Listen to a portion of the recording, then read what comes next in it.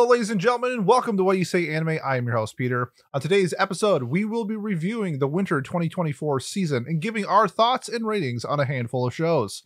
Obviously, there will be spoilers, so if you want to jump around, there will be timestamps located in the description below. Join me today, I have my lovely first mate Miles and seasonal review partner Cozette. Before we jump into the first show, I want to get you guys' overall thoughts on the season that was. Yeah, uh, I had a great time with the season. I thought it was fun. Um, I don't remember exactly what our attitude about the shows premiering this were when we did our preview, Pete. Uh, but I think that it definitely met my expectations for most of the shows. I don't think there was anything that premiered this season that was like an amazing standout for me. But we also, you know, saw the finale of Frieren and Apothecary Diaries, and you know those obviously are massive standout. So I think overall we have a bunch of amazing shows ending this season. How about you, Cozette? Yeah, for me, I think I was really spoiled this season because four manga that I read got adapted. Three out of the four was adapted perfectly. One we'll talk about later. Yes, we will. Uh, but I thought it was an incredible season. I did drop more than usual this season, but I think it's because I gave a lot more shows a chance. Um, but overall, I really like this season. Yeah, I, I think I would agree, especially with two juggernauts. I think ending at the exact same time was kind of like the, the icing on the cake, the the finale of the, all the fireworks going off at once, and I think that really was a great way to end this season because I think overall for like the new properties that were airing were like I would say okay to solid. Nothing like Miles said really stood out to me, but the two juggernauts wrapping up, I do think was just a great way to end a season. And we're going to be talking about one of those right away. You think after six months, Miles would know how to say Frieren. He still doesn't. We're going to be talking about Frieren, a show that I think when I initially started off, uh, since I think we're all manga readers too, I said this was going to be anime of the year quality, and it was. And I do want to reverberate some points that like a lot of people make with like how well this show does like the passage of time. But the one thing that really stood out to me with Frieren more than any other show was just how easy the show was to consume.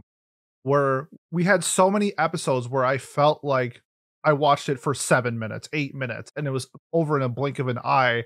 And I think to me, that's one of like the standout points of the show where you can handle so many different topics from simple slice of life adventuring to high resolution combat, gripping story and music and background art, everything that goes along with Frieren, I think was just like unmatched. It's been a long time since I've seen what I consider a generational anime. This to me stood out in so many elements where it's really hard to nitpick. I do think the flavor of the month right now is being really cool and calling Frieren overrated and then giving zero examples of why you think Frieren is overrated. And I hear those people out there and I don't like you, but um, I just it, it's a series that I absolutely fell in love with. It's it was a manga that gripped me, and when I saw that it was going to get adapted, I knew it was going to be something special, and I didn't think it was going to be this special.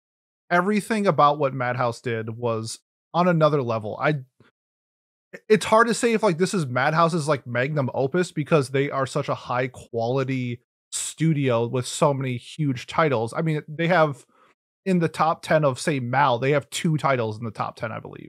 This and Hunter Hunter.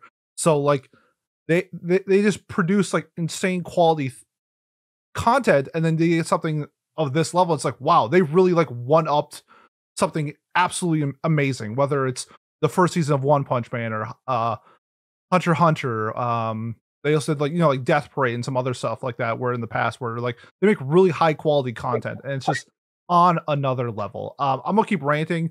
I'm gonna pass over to Miles. Your initial thoughts and like what you thought of Frieren as as a whole.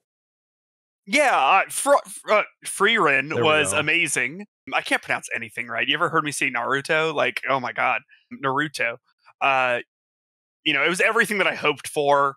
When we talked about it, you know, we're both giant fans of the manga, and we wanted it to be adapted well, and it it was. Um, this is it's been good for me. I have a lot of friends who are just very casually into anime, so it's like a slam dunk recommendation for them, and they'll be like, "Oh wow, do you know anything else like it?" And I have to be like, "Nah, not really."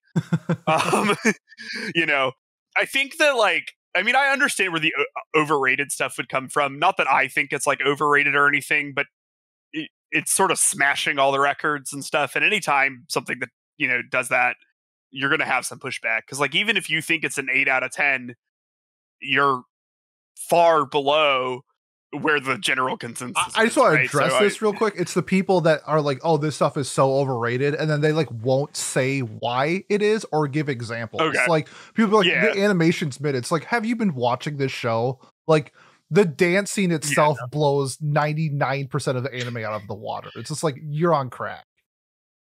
Yeah, it ha- I mean, every everything about it is just super good. The voice acting has been great. The animation is wonderful. The score is wonderful. Um, it gets the mood like it does such a good job of conveying mood.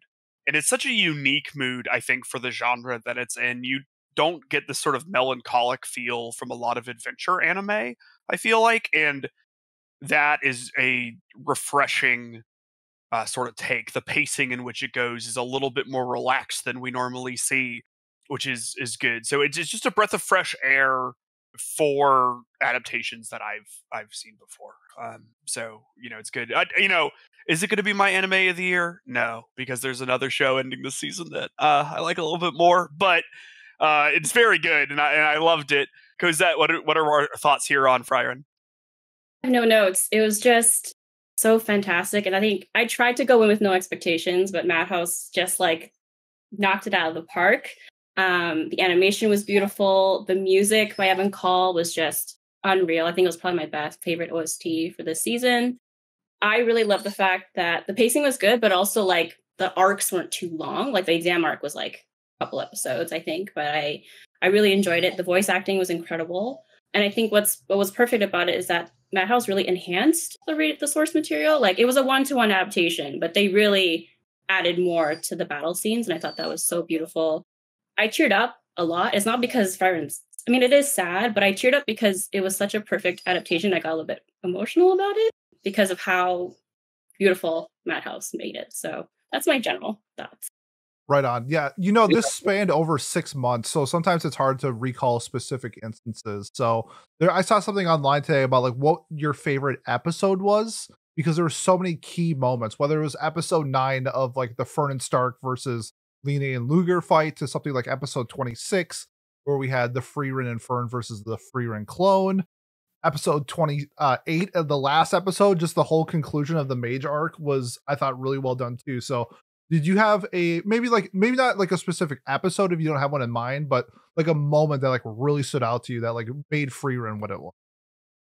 Yeah so goodness it's so it's so tough to think for me what moment it fits uh, the most that like makes it what it is because i think it's a constant for me, the most important thing about Frieren is the tone and like the constant sort of hopeful yet melancholic, uh, looking forward yet retrospective. It just it sort of juggles those things a lot.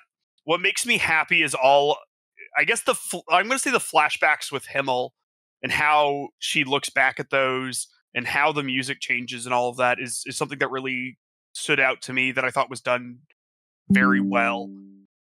You know, Himmel's a very interesting character because he's uh dead, like really fucking dead. And uh, yeah, he's like super dead, isn't he? yeah, like he's been dead like every like again, at the beginning of every episode it lets us know exactly how long he has been dead for. And it gets longer every time.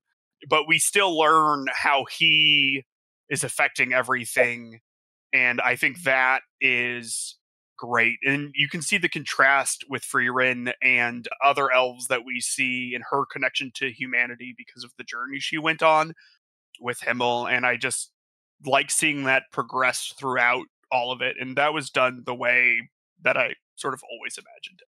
Um, for me, I think the one episode I'll point out is the Stark introduction. I think that was the episode where he was fighting the dragon, where people were like, "Oh, this is what Frieren is." And I think that's the episode that people saw clips of the fight and they're like, oh, I should check out this anime. So I think that was the episode that I saw more people um, start watching Frieren. And I think that one stands out to me. I mean, there's so many battle scenes and there's so many perfect scenes. I think that episode really like told people this is what we're doing and this is what Frieren is.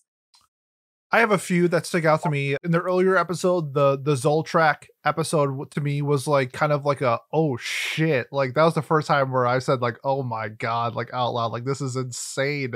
I thought that like the element of magic evolving, I feel like isn't really seen in fantasy all that well. Like it's always like, you know, the same ice lance spell is used throughout generations.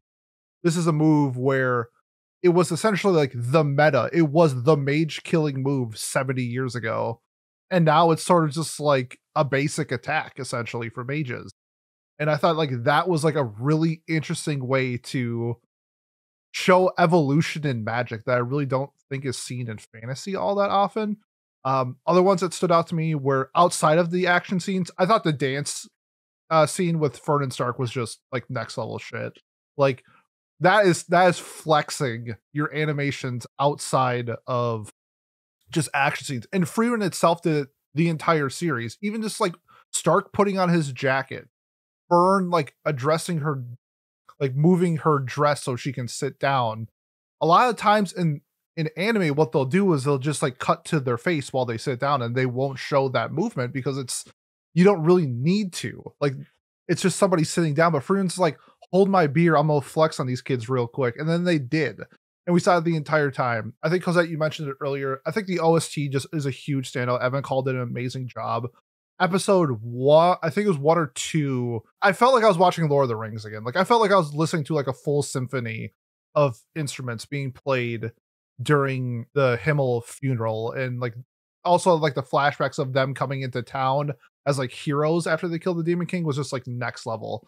And there's just so many different moments that you can point out to them in this entire series and be like, yeah, that was like a that was a pivotal point for me watching Frieren was scene X or scene Y. And I think there's so many of those scenes that show like the heart and the passion of Frieren that I think is just like next level stuff. Even like the one episode um stuff that they did with like the old man episode and learning his backstory, them getting stuck in a blizzard and hanging out with the elf priest. Like some of that is just like really nice because they're on an adventure. Like your adventure takes years to get from point A to point B. And there's things in between that are mundane and boring and trivial and doing basic need stuff. And all of that is like encapsulated in this journey, this 10 year journey that they're like reliving through Frieren's past. It's it's just a lot. I honestly could ramble about this show for like an hour because spoiler Pete, has been an hour. Oh my god. spoiler alert. Um I love this show. It made my it's now my number 3 show of all time. Like I everything about it from personal attachment to I love stories about like the passages of time and how they perceive it, being technical with the animation, the OST, the the art, the backgrounds, the the voice acting, uh, the character designs, all of this is just so well done. And I have the manga at a 10, and I think the anime just elevated a 10 out of 10 manga for me. And that's so hard to do. I don't know if that's ever been done for me where I have a manga that I think is just perfect and it's elevated and it was just everything I wanted. Do we have any final thoughts before we get into like our final ratings? Just really quick, Pete, if you want an anime, a fantasy anime that shows an evolution of magic I over generations, don't even say it. Uh, what do you think I'm going to say? I don't know, but I'm scared because I do know when it does go over multiple generations. It's getting a next season next. Uh, season. My my my joke was just going to be Fullmetal Alchemist Brotherhood. It oh yeah, it's my number innocent. two anime of all time. Yes, was, um, and Pete, yeah. if you if you like that concept uh, after the episode, and I don't want you to get scared, but there are some book books I could tell you about that you might oh, enjoy. The fuck? don't ever say the B word around me again, bro. I'm sorry. My apologies. How dare you? Did you have any final thoughts though, Miles? nah, man, you got it. All right, cool. that? I I can't wait till season two. But there, I don't know if you saw the arguments online, but people think that the ending of the episode didn't actually announce season two, but it was more of an announcement to say, "Hey, the adventure continues on the manga." So oh. what do you oh. what do you think? Was it actually a confirmation, or that was that like okay, go buy the manga?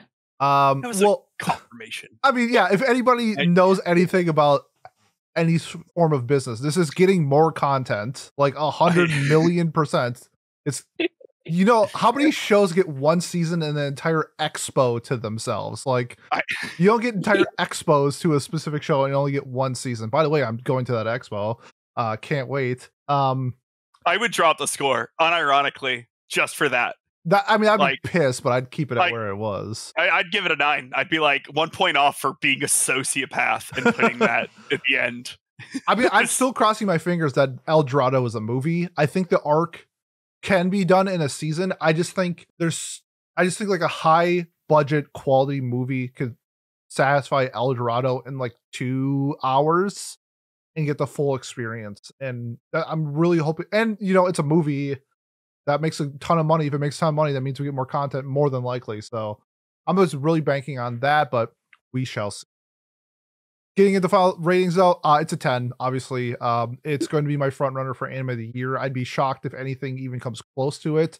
Uh, it's my number three anime of all time. I love Frieren. I love everything that it does. I love everything that it stands for. I love the messaging, the theming, the characters, the music, the animation, the directing. Oh, it's so good. Everything about Frieren is incredible. I love even stuff like the fan art is going crazy right now. Like this is like such it re- honestly reminds me of like Bocchi the Rock, where like it was such a huge phenomenon for like that, you know, it still is, but like so much fun fan art coming up. Shut the fuck up, Miles. Just I saw your face. I saw your face. It's it reminds me of just like everybody like universally like loving a property and just having a blast. You, you even eight. You like Bocchi the Rock. There, confirm it's canon now. Thank God we've done it. I finally got there. Thank Yo, you. Trent, cut this. no, but it's just one of those things where like everybody is coming together, and like this is why I love anime. Like it's stuff like this show. It's a ten, easy ten. Yeah, I mean, I, I gave it a ten. Oh, oh, I that's a nine. I'm seeing a nine face. Who me? No. Well, no, no way. Kozak gave it a ten. oh, should I? I'm giving it a ten with a oh, star. Yeah, I'm giving okay. it a star. So the star means that it's like my. Per- I don't rank things like Pete. I just say it's my personal favorite. So it's a 10 with a star. Um, it has a mix of like slice of life and fantasy, which is like my favorite things ever. So I it's a 10 and a star for me. Fantastic. Three tens. And just for the audio listeners, that is just a whiny dog. Don't worry. Marnie is doing just fine. It's all good. Moving on to our next show, we have the Apothecary Diaries, Juggernaut 2 of the season, wrapping up. I'll be the first to say that I wasn't as hyped as Miles and Cozette were in the beginning. However, to my I think it's just really funny. Everything about like the second part, whether it's like the OP and the ED, I liked more than like the first one, but everybody else likes the first one more than the second one. I yeah, I fell in love with apothecaries towards like episode like nine. I really got invested in these characters. I really got invested in Mao Mao and Jinshi and a lot of the, like the other side cast just the whether it's like solving a mystery or doing something silly or getting backstory on mao mao i fell in love with everything about the apothecary diaries also shout out i listened to the entire ost today and that is just another amazing ost that we got back to back from Frieren with evan call and then kevin penkin doing apothecary diaries. Just like two juggernauts I'm using Juggernaut a lot today, but I think that's like the, the correct verbiage for these types of shows because of what they like encapsulated and sort of brought to the community. Because coming off the backs of huge, I mean, this Frieren was a well, actually, this is a really dumb comparison now I think about it, but you know, coming off the backs of last year with like Vinland Saga and Jujutsu Kaisen and a lot of these like action heavy oriented stories uh, I feel like Frieren and Apothecary really centered around the characters, the dialogue, sort of like what the inner workings of what they are presenting to us more than just awesome fights and beat 'em ups. And with Apothecary, we we got a lot, and to encapsulate that all at the end with like Mao Mao and her dance, I thought was just like incredible. That was such an awesome scene. Um, I'm still shipping Jinshi, even though I know that's not supposed to be the part, but I really like sort of the the, the it's like playful flirtiness, but like at the same time, like Mao wants nothing to do with him. I really like that dynamic between the two. So huge fan of Apothecary Diaries. I'm gonna pass it over to Miles and Cozette, who are bigger fans than I am, and get their thoughts on the series.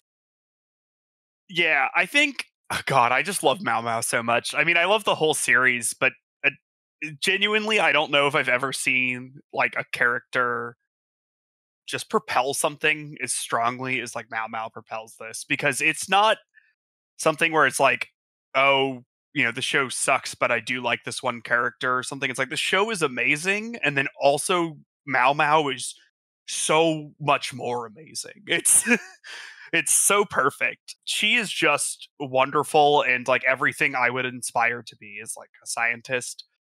Um, I'm very jealous of her ability to just experiment on herself. That's generally frowned upon in like a modern setting.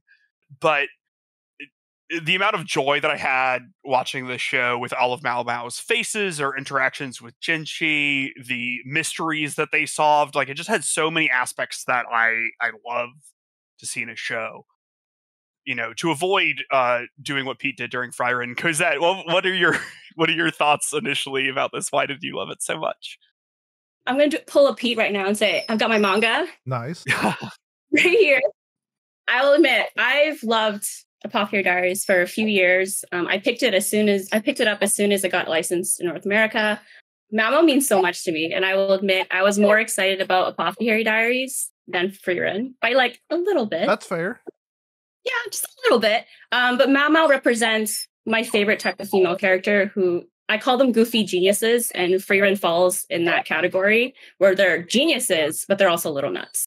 And that's what I love about Mao Mao. She's got book smarts. She's definitely got street smarts. We've seen that a few times, but she's also a little crazy. But the one thing I love about her is that even though she has a facade of like not caring, she does have a big heart about like people at the palace and people around her. So that's what I love about her the most. I was hooked on the manga. I was hooked on the anime. I really wanted to have low expectations, but as soon as the trailer went out, I was like, this is going to be the best thing ever next to Frieren. So um, I just feel so lucky that like two of my favorite female characters are animated this season for like two cours. Like that's insane. And I feel I'm very happy. I'm in a I'm on cloud nine. So yeah. Yeah.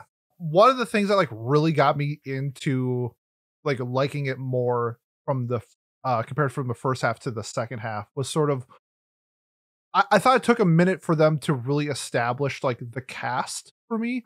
So like really have like a set core of like what i'm going to expect from the interactions between these people. And then once that was set that's what made the story for me. Like i felt like jinshi was still figuring out mao mao mao mao was kind of like the wild card and playing into like all these different people's relationships whether it was um i'm going to slaughter her name Gyo Kiyu, the the noble consort who had like the kid that we saw. Yep. Um, like once she, once I felt like they had like a solid relationship with like her and Mao Mao, like that's when I fell in love with this story. And then you know OLM, I gotta give props for props as due. They they're a fantastic studio, great animations, really funny. Also, just like little like the chibi moments, whether it's her turning into like a cat or them her like getting thrown out of a room and she bounces sort of like a beach ball like stuff like that like really adds to a story that has really fun elements but at the same time can be like really serious so like dealing with like murders and suicide and plot where you know someone might get assassinated like when jinshi almost got like crushed to death. Like having those elements while having just really fun characters and really fun dialogue, I think really goes a, a long way in this style of the show. And it's confirmed for a second season that we're getting in 2025. So we're gonna get the Mao Mao sweep where she wins Best Girl three years in a row, which is going to be nuts. She's on some Patrick Mahomes stuff, just throwing up the three beats. So uh, Kansas City Chiefs Mao Mao is going to be nuts. Um, before we get into our final ratings, uh, Miles and Kozak, did you have any final thoughts? I wanted to to sort of piggyback on something because it said because there's a like a lot of the times in in anime i have an issue with sciencey characters and i think it's because they always come off as so I, I don't know what the word is it's like their only personality part is that they they do science or something like, like Senku or something? Like senku yeah like senku Senku knows the science. He's the science guy, and eh, eh, that's how he solves everything. You know, but Mao Mao also has like amazing, you know, like social deduction skills. She's able to read people very well.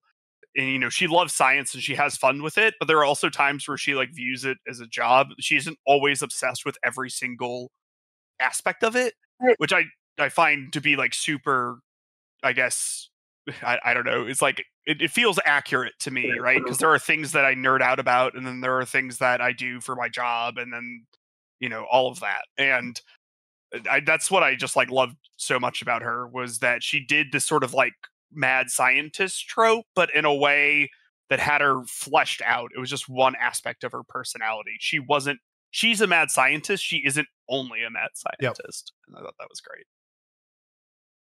for me, I I think they really enhance the source material but like i have only read the manga. I know that there are, there's also the light novel which goes more in depth on the story. Um, but for me as a manga reader i felt like they enhanced and they added more details to the story in general. So if anyone is planning on reading the manga you'll see some differences.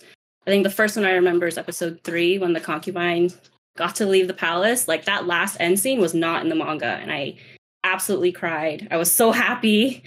Um, but I just love the extra details they added. Um, I do. It actually convinced me to probably pick up the light novel, even though I don't read light novels. Um, it really did convince me to pick it up and read it because I want to know more. Spotify so, Premium has it, I believe, if you are so inclined. Oh, like the audiobook? Okay. Yeah. Sweet. Okay. Well, um, and the other thing I wanted to point out is that, like, obviously, like the OST was absolutely perfect. But the insert songs, I didn't expect like as many insert songs as there were. And they were all so perfect. And I think the last one, like that was the scene I was waiting to get animated, was Mao Mao dancing on the roof. And then they added that song, and I like I wept. I wept. I was so happy as a manga reader just to see that animated. I just I was just so happy about it. So yeah. Yeah, oh, this this show almost made me cry a few times, which is tough for me since I generally don't like the lock uh, Lakan flashback, mm. uh, like and everything, and then like him just like running once he's put it together and stuff made me because I I don't know I wasn't expecting that. I totally thought this guy in per, like intentionally maimed Mao Mao's mom and like raped her or whatever, yeah. and you learn that just that isn't the case. And I I don't know if I've been hit by like a plot twist like that in anime in like a minute it's been a while for me. So uh, I like I really loved that. I thought the characterization was was really good. And then I don't know, it's just so so many great scenes. I love it. I, I think the Lakan that episode was my favorite episode. That and the when Jinshi carries oh, out. Oh God, like, so th- those too. two really stick out to me. But that Lakan was just like, you know, did he fumble the bag like at like the highest level? Absolutely. Like he, he fucked everything up. But like sort of like at the end where like it doesn't matter, I'll pay anything. Like I I don't care. Like that that sentiment was just really well done. I gotta give props for props too. Uh let's get to our final ratings. I think this is a show with the second season. I can see me bumping it up to a 10. This reminds me, this will sound crazy. This reminds me of Link Click, where I want to see the whole thing before I give it a 10 essentially and apothecary okay. because like i started out and like this was like an 8 for me and as i got into more episodes i ended up giving it a 9 and i can see me as i'm flowing through my process moving my way up because every episode got better and every episode i felt more connected to the characters. I just want more and i'm getting that. So as of right now i'm gonna give it a 9 it did enter my top 100 so like it is like a very good high nine for me, and I'm really looking forward to seeing season two uh, next year. Yeah, I so I gave this a ten. This is like a very very easy ten for me. Um, this is my front runner for anime of the year currently. Mao Mao would solo Frieren in a fight. Um, nah, so, I'd lose.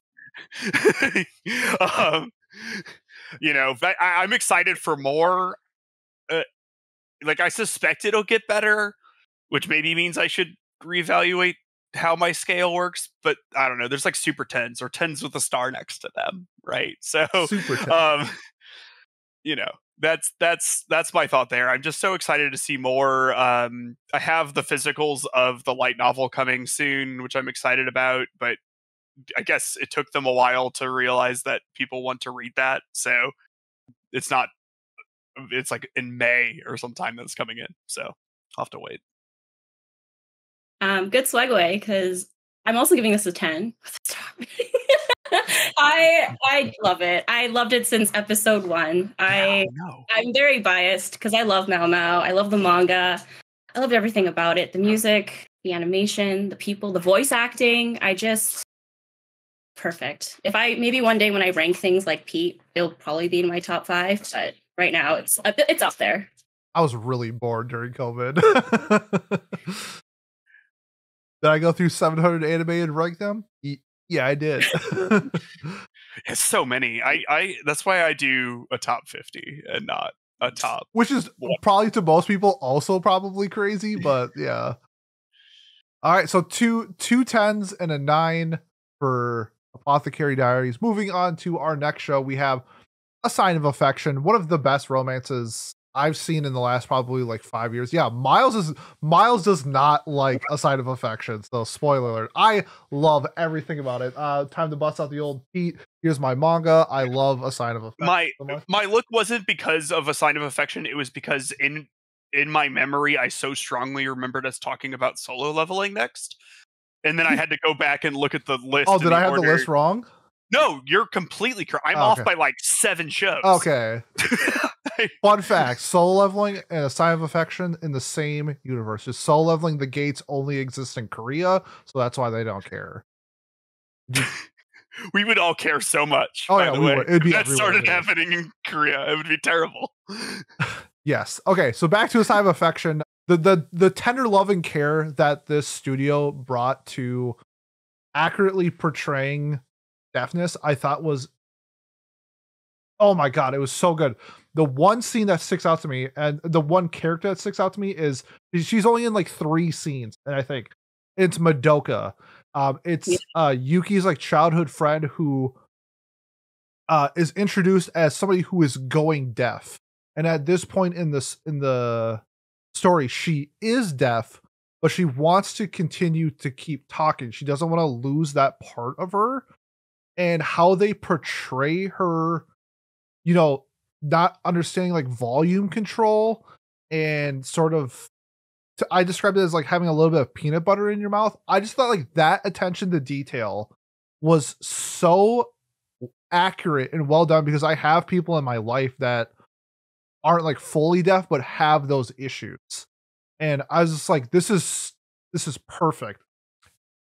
I also found out like earlier before or before we got this that they were in pre-production with the show for a year and a half getting the sign language correct and like hiring interpreters and making sure that what they are portraying on the screen is accurate that they're not just going on to YouTube and seeing how to sign you know like when in the like the OP um Itsumi does like I think he says like he wants more and he does like the more sign in the OP, and it's also addressed, I think, in episode two. That's just like stuff like that is just so cool. Like I love when shows go the extra mile when they don't necessarily have to, especially showing off like the Itsumi notebook is just awesome.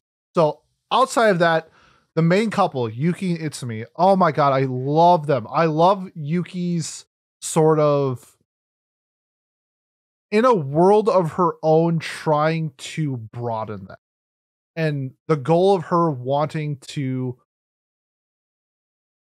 something not just like with like a boyfriend but like you we see it with like her fascination of Itsumi and his backpacking and like i want to do that like i've been stuck in this shell my whole life and now i have found somebody that can broaden my horizons and like i love that for her like that was like a huge emphasis the last scene i believe in episode 12 is her getting her passport like stuff like that showing her character getting out of this protective bubble that she's been so accustomed to because it's safe. And I'll bring up Oshi later, but like I, I just loved how that was handled of showing somebody with a disability like this.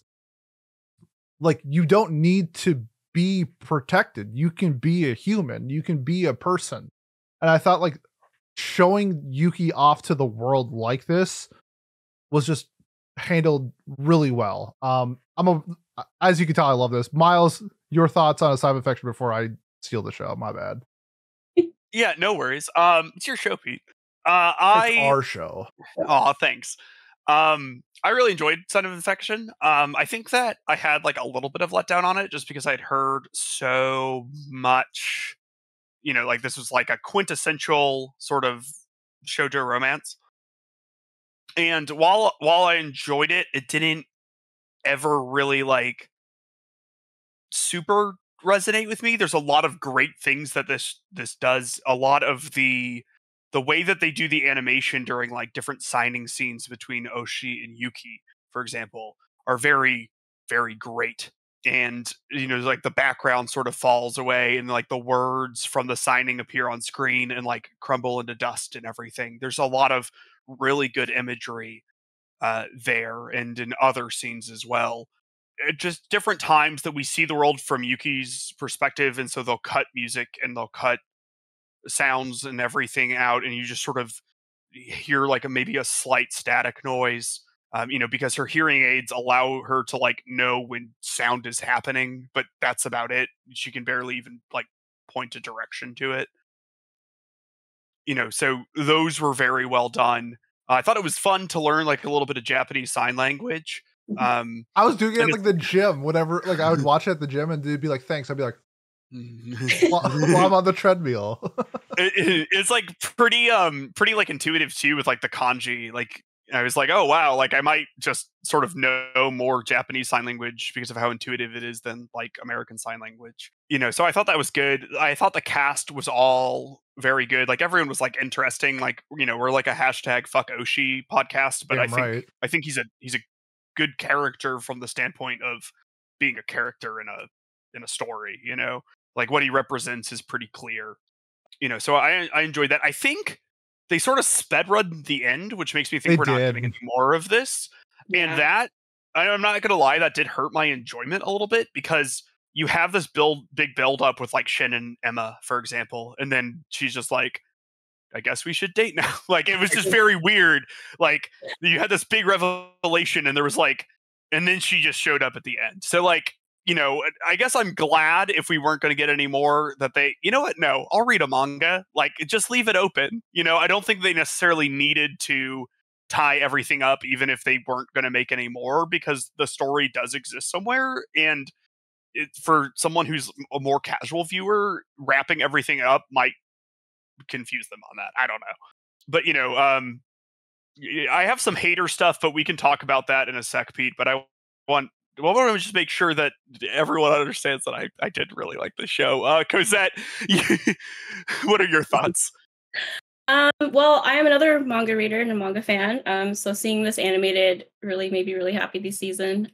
I think the care, like like what Pete said about just the amount of detail they put into the sign language, but also the sound, like you said, uh, Miles. is just that you can hear it from Yuki's perspective, but you can hear it from like Itsumi's perspective. I think there was so much detail that was put into this production.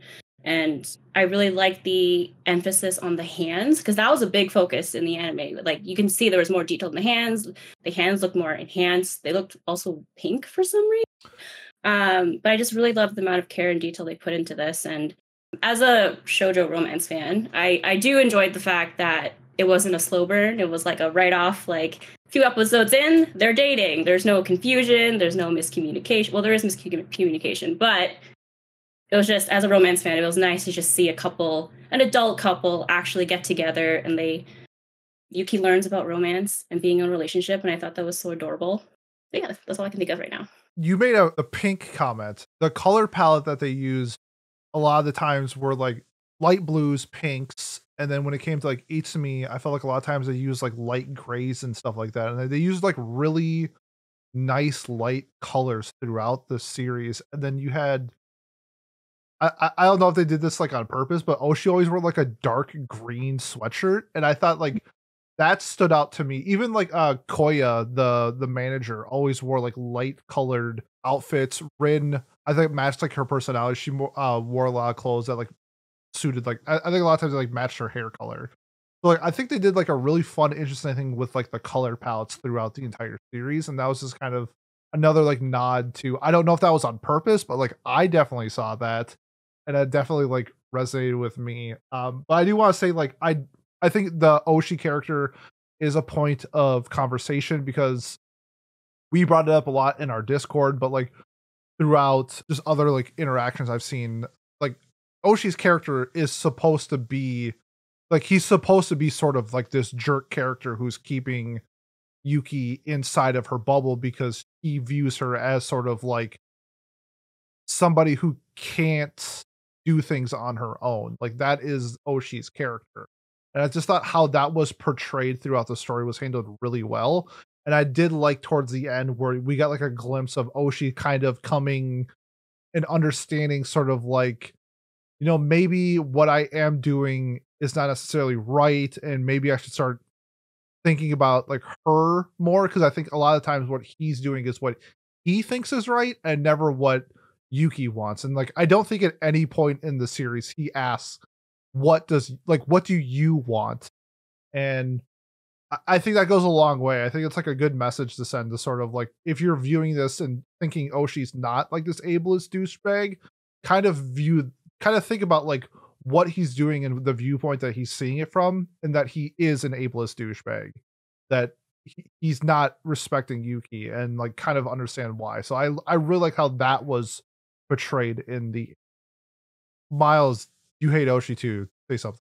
I, I do. I, I hate Oshi. I mean, for the reasons that that you've listed, right? I mean, like it's episode like two or something where someone wants to invite Yuki to a party, and he's like, "You can't do that because she's deaf." And it's like, I had a friend in college who was deaf, like very, very deaf, and he went to parties. Yeah, I, I, I had a friend in a wheelchair in college, and if we went to parties, you know what we did? We carried him up the stairs. Like, yeah, like they're they're humans. They can interact with other humans. Like, they're not they're not a dog on a leash. And I, uh, oh, hate ableist people.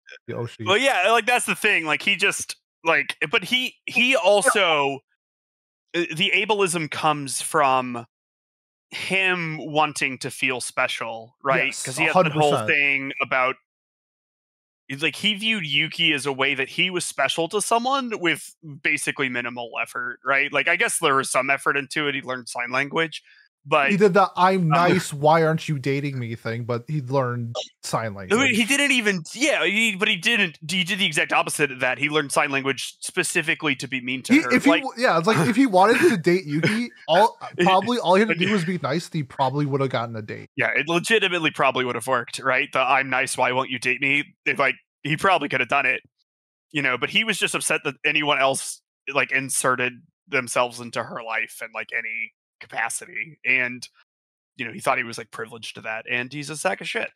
So you know that's that's what i got. I mean i do i do like him from like a like a character aspect and i like empathize with him in the way that like i get it bro but like also you gotta like suck less you know?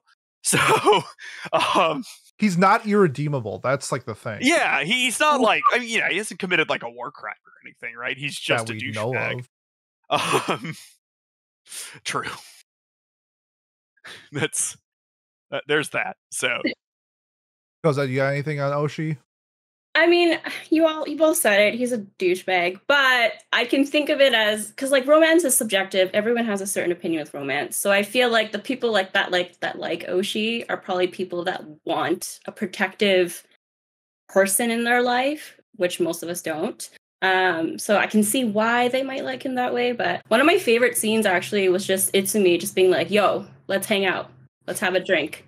Like that was incredible. And you rarely see that like with rivals, I think, in most like romance um, manga or anime. So I thought that scene was just so funny. Rivals. Rival, yeah. Hard Itsumi is, is not afraid of Oshi. He's this is um you have Riz God versus Cucklord. Like I think he's yeah, good. yeah. I mean, geez, the you know, and like I for for people who like Oshi, like I get it, right? I like I like him as a character too. Just, well, I mean, even the people who like like him as like a romantic person ah, because like. Hot. I mean, yeah, like the thing, you know what I mean? Like if we've if we've seen my taste, right? Like Ugh. he's he's not evil enough because he hasn't committed a war crime. So like you're making a good point. I know. Like how much hotter would he be if he committed a war crime? Am I right? At least um, two points. There, there's something hot about broken people, and it's not because I'm broken and see myself in them. At all. It's definitely not that right? and it's definitely not like any way that I cope with trauma in my past or whatever. It's that I'm objectively correct. Um, True. So, you know, um, to be a hater really quick, this the romance between Yuki and Itsumi like never really, really grabbed me. And I was thinking about why. And we had a conversation about this uh, recently in the Discord, and I think I figured it out why. And this is going to sound insane. Itsumi's too hot. That's what it is that's why I don't think it because we were talking about like someone someone's like is Kaguya even a romance? There are like three or four romantic parts in it or whatever.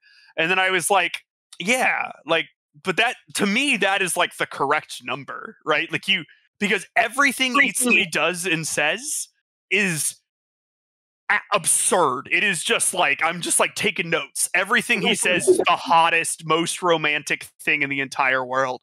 And uh, it's too much, bro. Yeah. Like it's like be normal for half a second. You know what I mean? Like I don't know. We've you know like it's, it's my wife is watching this with me, and I'm not doing this to her. But she leaves me for Itsumi. Maybe you should. every every sentence, every every sentence in the show. I mean, it, it, like how many like whammy I'm so fucking hot moments does Itsumi have per episode? Like five. Anytime like, on screen yeah, it's it's insane. To, like to me, that's like very. I think it's just too much because it it stops feeling special to me when he does romantic things because of eh, because of the frequency of it. I guess like to me, there's something to be said about you know people who are you know, and he this is just because he's such a Riz Lord, right? Like, I mean, he's not ever nervous. There was no working up to this. Like, he didn't accomplish anything. He just very confidently was like, "Want a date? Because I'm the hottest guy ever." And she was like, "Yeah, for sure, dude, because you're the hottest guy ever." You know, so I I don't know. It's just everything he does is so like um Ren and Guy that Ren dates. There's like awkwardness there, but then it like works out, so you like have a payoff. Where Itsumi is just like all the serotonin. There's no like build up to it. Um, and I think that might be my issue with it. Like, I don't mind it. Like, I don't think he's bad or anything, but I think I I sort of need like a more on off sort of thing where I get like rewarded as opposed to just constantly being bombarded uh, with romance. I think it's just too much. I don't know if that made any sense because that was looking at me like I was absolutely insane during that. I think you're just found out how much like, like I don't know how much riz you have, my man. Uh, uh, enough is how much risk that's true. So, it, yeah. it, it, worked out for you. uh, Cozette, is there such thing as someone who's too hot? I mean, I just think he just oozes confidence, and confidence is confidence is sexy. He knew what he wanted. He went for it. He didn't like had give mixed signals. He's like, I know what I want. I'm an adult. I'm not going to play games. We're not going to do a slow burn. Let's just do it. And they did it. And I, yes, Itsumi is very hot, but it's nice compared to some shojo romances out there. So I just it was refreshing to me because it was nice to just see a man with confidence who said, "I want this." Ask for consent, obviously, but yeah, yeah. Itsumi's yeah. hot. Point. He, he uh, yeah, not denying that. Uh, he's too hot. In fact, uh, you know what? I think this isn't a condemnation of me. It's a condemnation of my wife because I am not used to someone sweet talking me constantly 24 7 like Itsumi does to Yuki. That's what I think. Oh. Maybe I'm not getting enough. I think you should sweet talk your wife some more. I okay. I, I, say very nice things to my wife. Kayla's lovely. I will. She is. She, she seems happy. Lady. So the last time I interacted with her, she seemed very happy. Maybe a little tired as well, but there's other reasons for that. Uh, let's get to our final thoughts and ratings. Uh, I love the sign of affection. Um, so much heart and care went into the story. I love the time that they put in to really showcase the hearing disability that it is. Um, I was I am in the fan of I I think Itsumi could be hotter. Um, and we do actually see that in the manga. It's uh, uh dangerous, dude. Um, a little bit of a manga spoilers about Trickleson. He dyes his hair and ooh, ooh okay, his hair. Ooh lord, oh. ooh lord. Oh my god. Dude, I thought you just hit me with Itsumi dies. No. And I was like, what the fuck happens? it's nuts. Oshi has a chance, actually. Yeah. Um, I, I love man like their date I think it was in like episode 11 or 12 was just at the garden? Yes. Oh that was so yeah. I love that. Uh it was so nice to see like a side of Yuki like you know like how happy she was to just be surrounded by flowers and then like Itsumi coming to that realization is like oh like she loves this like oh I have that in the back of my head now like for you know we can come back next spring or whatever and we do the same thing again and like now I know that she likes these type of flowers. I thought that was like a really subtle way of like showcasing that to Itsumi. I just really hated how it ended. I thought it was like really fast paced.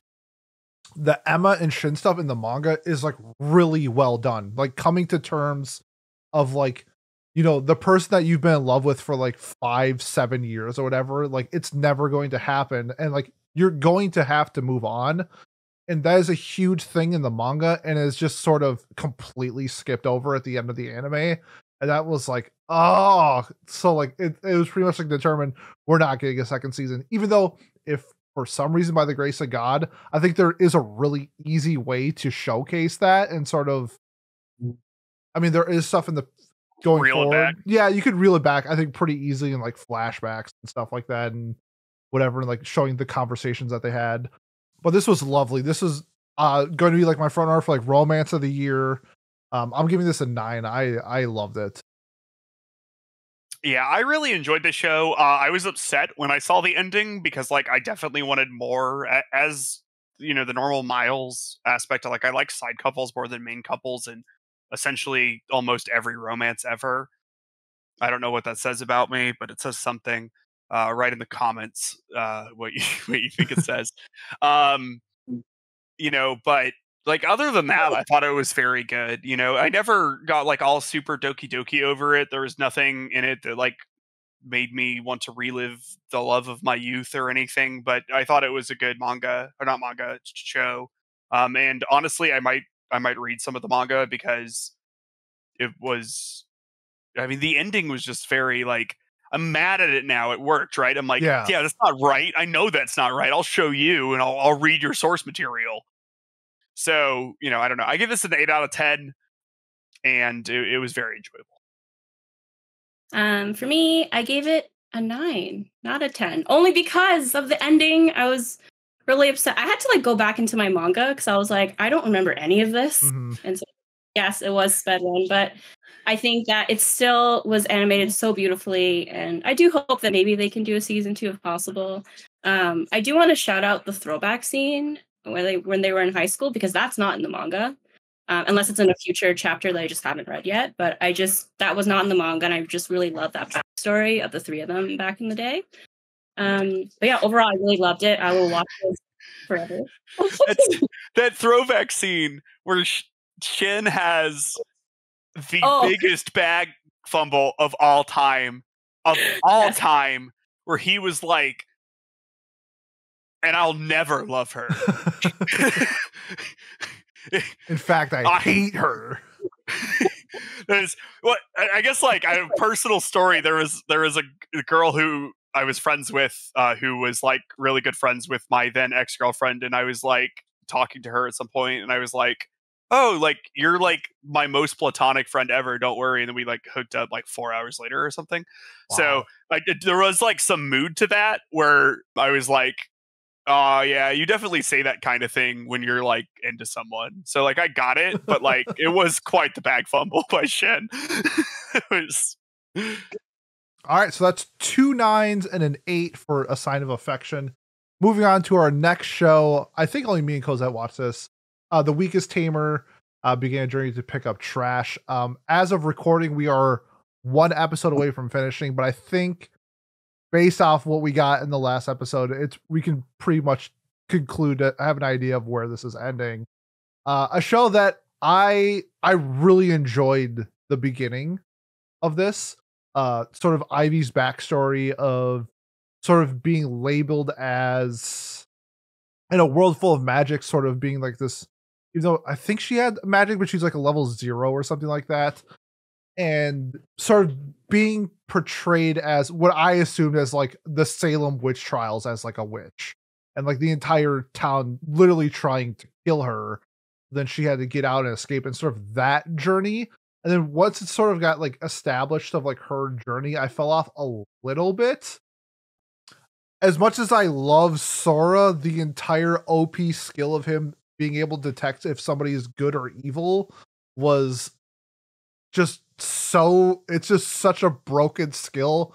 And then for a slime, I guess in terms of like magic abilities, that doesn't make sense to me. So when I get into nitpicky stuff, I just get a little lost.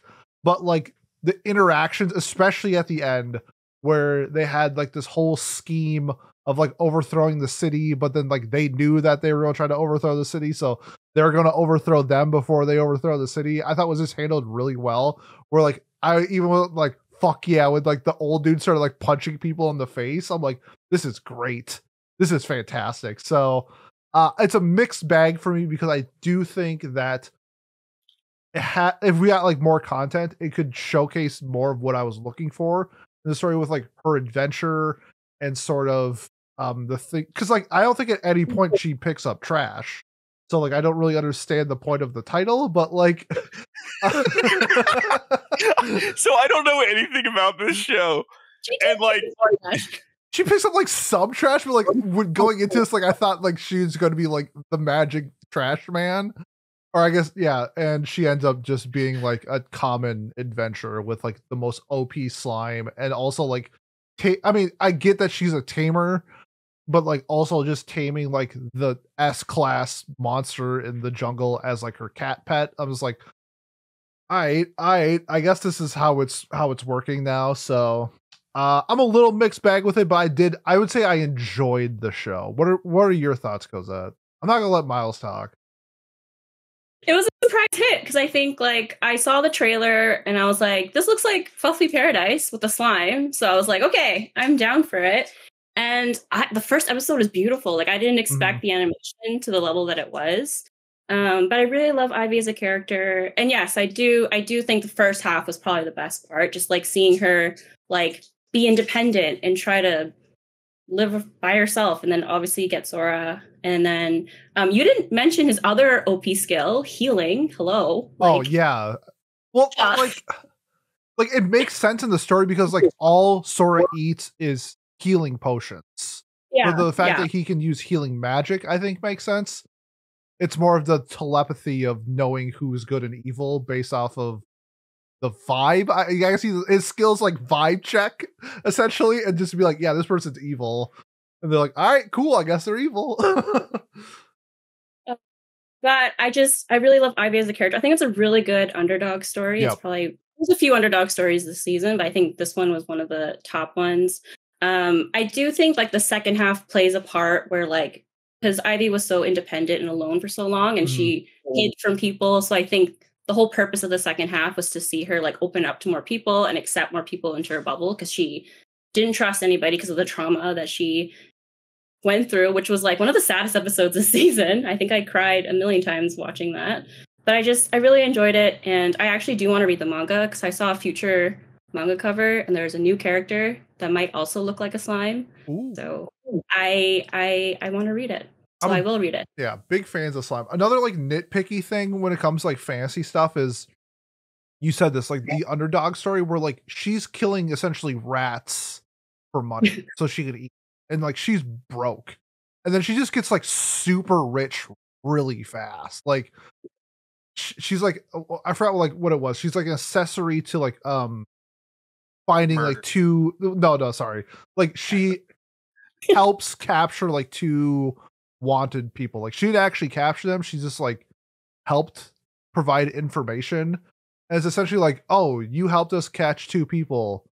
Here's like 40 grand. It's just like she's nine. it's like, okay, she went from like being super broke to like insanely rich. And I was just like, you know, and like sometimes I'm nitpicky when it comes to like fantasy. When we talk about shows that we dropped, I'm gonna be super nitpicky on a show, especially when it deals with something that I really enjoy. So that's just one thing with like fantasy where it's like you literally went from I, I hate to compare this to Frieren, but like they're broke.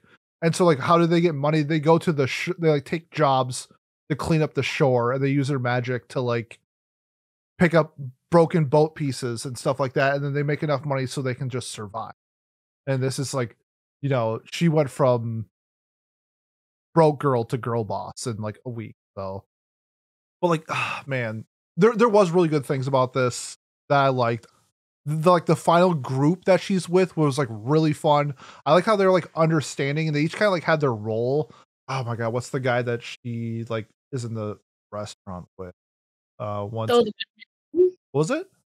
The redhead guy? Yeah, like I liked his like role as sort of like the big brother, it yeah. seemed like, and then like the other like older cast was like really well. So like at the end of it, I I did cheer at like the final scene it's just like some of the stuff that I look for in fantasy, I didn't get. And also, this is like technically no, I guess it's reincarnation. I don't know if it's technically an isekai, but like sort of like the the the bell ringing and having like a hint of what's going on because of the past memories was a little confusing because at some points she like n- understood it like completely and there's some points she's like oh what does that mean it's like it was just like so hit and miss with like the information that's provided to her from like her past life and how that mm-hmm. applied to the scenario. So I, w- I like I would recommend this show and I think it was fun. It's just some of the things that I look for in fantasy miss the mark. Did you have any final thoughts? Not really. I think it's if you like fantasy, I think this is a good one. And even if it is reincarnation, there's it's very a small part of the show, mm-hmm. to be mm-hmm. quite honest. Um, but I do really love the the underdog story, and I think with the redheaded, I I feel bad. I don't know his, his name, but the redheaded character, I think he's a good big brother and a mentor. Because like in that last fight scene, he's like, I don't have much of a defense skill, but I can do this now because I trained myself, and I think that's a great learning point for Ivy because she just thinks that she has no skill she can't develop it but i think he will probably help her in the future to develop mm-hmm. something so uh, i do i think it's an inspirational story obviously it's not the best thing but i think with the animation and everything it's really beautiful and i recommend it if anyone likes fantasy so his name is yeah. ratlore oh, like i would remember that that is so not the best time also at, at the end where like you know it was like the the girl and her two brothers and like they were a part of the conspiracy and then yeah. she, and then she's just like, I don't want to do this anymore. And then she gets like no repercussions. It's like, oh well, now she's good, so it's fine. I hated that. It's like she's been evil this whole time. Like her brothers get their ass beat, but because now she wants to like not be evil, then it's cool. I'm nitpicking. Um, I'm gonna give the show a seven. It was fun. I would recommend it if you're looking for like an underdog show with some fantasy elements. Um, just when it comes to me, there's just some things I missed the mark. But like if it got a second season, I would 100% watch it. Um, I think I'm currently at a 7.5. Depending on what the finale episode looks like, it might be an 8, might stay as a 7.5. So right on. I'm between both. Right on. So 7, 7.5. Uh, moving on to our next show, another fantasy show that had healing magic in it. This one would be su- super long like we did with the last one. The wrong way to use healing magic. I gotta say, shout out to Rose. Love her as a character uh her backstory was like really well done i like that where like you sort of see why she's so tough on the characters the the whole isekai part of this is like whatever like they're just walking home from school and now they're now they're the heroes of this world it's it's whatever but like what the show lacks in like story and plot i think it does a really good job of just having like a really fun cast really fun interactions with each other. The dialogue um, with like the senpai and the main dude uh, Usato, I thought like a really well done. The little romantic subplot between Kazuki and the princess, I thought was really fun. Also, note there's one episode before this is while this is airing, so we have to finish it off. But like, I, I didn't really like the Dark Knight stuff t- towards the end. I get where they're going, but I, I thought like as like a final, it seemed like it was sort of a final boss. I didn't really enjoy how she went from being like evil to now essentially on the same team as the healing crew. Uh, but just a show that looks on paper looks really really bad ended up being pretty fun and enjoyable. What were your thoughts on uh, the wrong way to use healing magic? Rose is the reason why I watched it because I saw a clip of her on Twitter and I was like, I'm watching this like badass female character. I sign me up. I was already all over for her. What I liked about this story was that yes, he's becoming a healer, but he's also like a healer hybrid where he's also like a warrior. And I found that aspect of the show really cool. Um, I thought the story was fine. I think like at the tail end, yeah, I just don't know where it was going with the demons and like I just don't know where it's going. If there is a season two, I probably will still watch. Um, but I think it's fine. Yeah. It's fine. You yeah. Know, you know what's crazy? I, I looked to see like how popular this series was in Japan.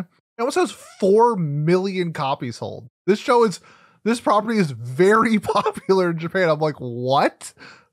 Like, I think there's a good chance we get a second season. I'll be intrigued to see it was it on like Saturday, I think this airs that if it if it's confirmed. But uh just so we can move on, I'm gonna give this a seven. If you're looking for like fun isekai stuff, I think this is a good fun isekai. It's not nothing groundbreaking, but I also don't think it does anything like bad. Um, so I had a really good time. And Rose, Rose is just such a great character. Big fan. Um, yeah, I'm stick I'm sticking with the seven, even though there's still one episode left. I just I think it's fine. It's mm-hmm. it's fine. It's a seven. Yeah, yeah, I can't really see it going either way after the last episode, so also giving it a seven. Moving on to our next show, what somebody has called the best romance anime in the last 10 years. Uh, the Dangers in My Heart second season. Also, note there's one more episode left. I have a very good idea of what's going to happen based off of the preview art where I think I think Kotaro finally or Kataro, whatever his name is, I think he finally confesses. So we shall see if that happens. I gave the first season a seven. I didn't really get the hype. I thought it was like really fun and cute. The second season, I think, is better than the first season. The I'm a huge fan of like the the new additional cast that they added um, mm-hmm. with the girl who wears the face mask and wants to get everybody dating using flash mobs. I thought that was like really cute. And then sort of the the it is kind of cliche where like the girl who doesn't know what love is and kind of wants to understand what it is and Yama's like, "Ooh, I'll show you," because that's like her character is. I like that a lot. Sh- like showcasing, I-, I like how the show the show showcases like parents. Um, yeah, both uh Yamada's and Ichikawa's families. I I'd like that uh interme like mingling of those two and sort of Yamada's dad being like this culinary bodybuilder, probably otaku. Like I get the appeal, and then like when he did the slick back his hair, and then the girl's like, uh, "Oh my god!" It was probably the best scene of the whole season where she's like looking at him and like doesn't see an ounce of appeal to him. And he immediately pushes back his hair. And she's like, "Oh, I get it now." Like, ah, that's why. Ah, okay. Um, but really cute, really fun second season so far. What are your thoughts so far on it, Cozette? It's so cute. I mean, there's one thing that I that's keeping me from rating it any higher, but with Yamada, I love her. She's a great character. She's so charismatic. Um, she's so bubbly and she wants to like improve her career. But the one thing that like makes me not give it a perfect 10 is a lot of the scenes with Yamada, unfortunately, are very suggestive. Um, just like recently, the ab rolling scene uh, yeah. when she was when she was brushing her teeth and like I so that's like probably the one thing that like keeps me from giving it a perfect 10. But still, like I loved the season seeing their chemistry and seeing their like friendship relationship grow. Um, I think like the first season was about Kyo just like coming to terms with the fact that he likes her. And now the second season is like okay now i actually i'm telling people. I'm i'm telling my friends. I my told she he told her his her her dad. Yep. Um, so i think that that's really cute and that's what i loved about the second season. And then side note about yamada's dad i just had this like fantasy that he's actually loving yamada's like loving yamada yamada mm-hmm. grown up he's also like an otaku ah that long hair, and I was like, "Is that Yamada?" You'd have to gain about 150 pounds. Time comes for us all. No, hey, he's got he's still young. But yeah, I just I really enjoyed it. Besides the suggestive scenes, I think like the whole like high school romance and like learning how to confess the person you like is very relatable and, and very cute. I think they're in middle school. That feel, that feels worse with the Yamada scenes right now. Yeah, I think I think Yamada's 14. I think they're like second or third years in middle school, if I'm not okay. mistaken. Yeah. See, that that's the thing. It's like I don't want to knock points off it, but like when I look for romance, when you're in middle school, I like the silliness that something like teasing Master Takagi-san, where like it's a lot, it's way more lighthearted. Even though the show is really lighthearted, it's more of just like suggested silly uh flirtiness, but like never really committing because dating in like sixth grade is pointless. this is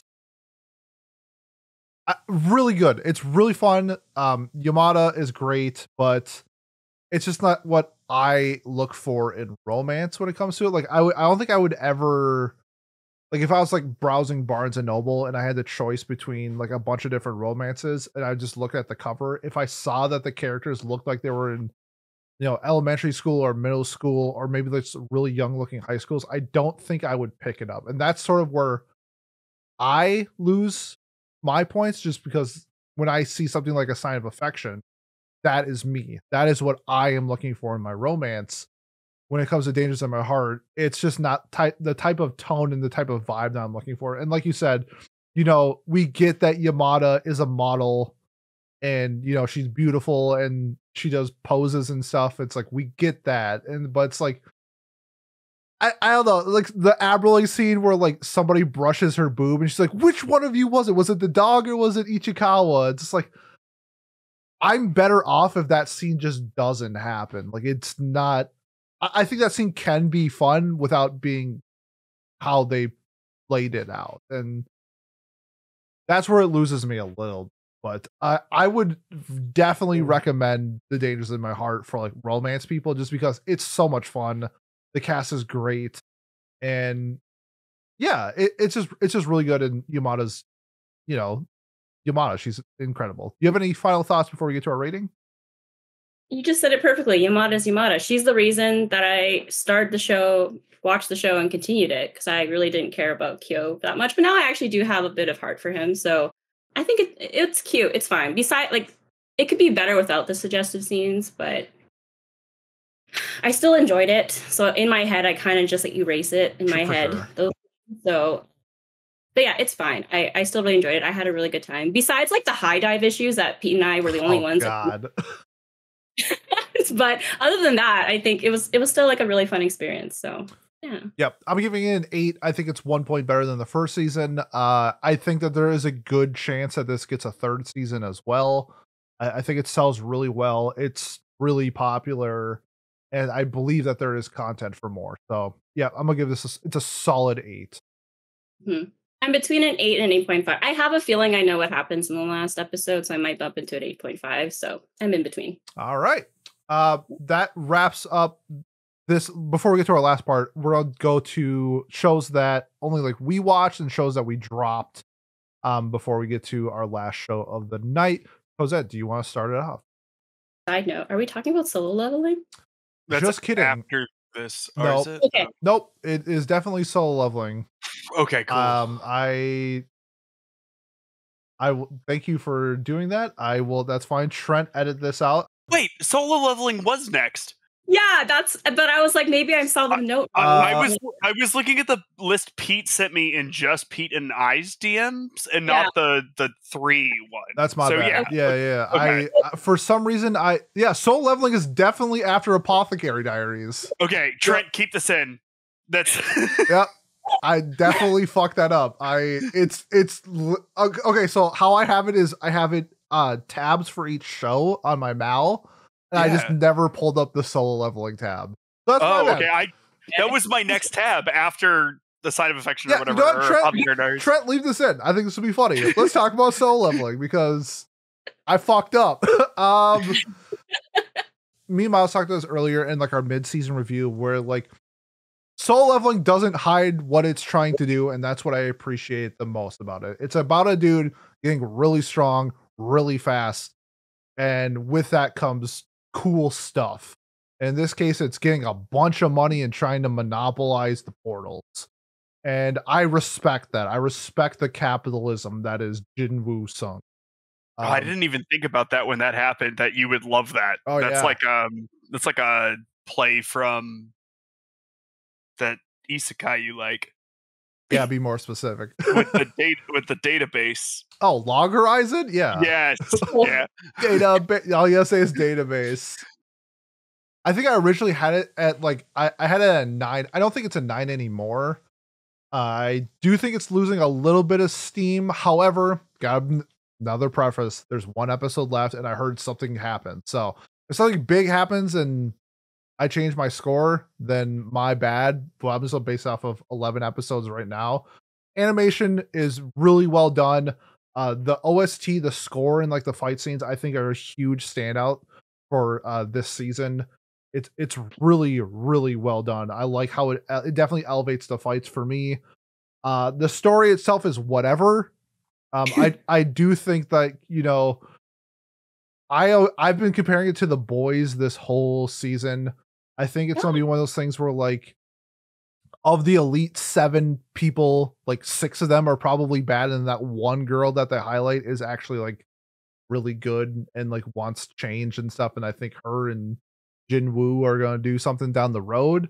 But I think that's gonna be for like the second season, which I don't think is confirmed, but I'm almost certain we're getting a second season. I, I thought I saw somewhere that this is getting two cours at least. I think it's just split. Uh, maybe that was just a rumor. Maybe I'm just talking out my ass, but we will find out. But I've been enjoying it. Uh, Miles, your thoughts on solo leveling? You thought so? I, I, I guess I would. The losing steam thing, I would combat like a little bit because like episode 11 went like fucking hard in my yeah. opinion. That did. It's more like you know, he got with the um, his name's Jinho, and like he's like the billionaire trust fund baby. Yeah, the, yeah. And so like they just like kind of just go like portal hopping to like level C dungeons or whatever, and like they don't really like show it, which I don't I understand they don't have to. They literally just go in there, kill the monster, and then mine the materials.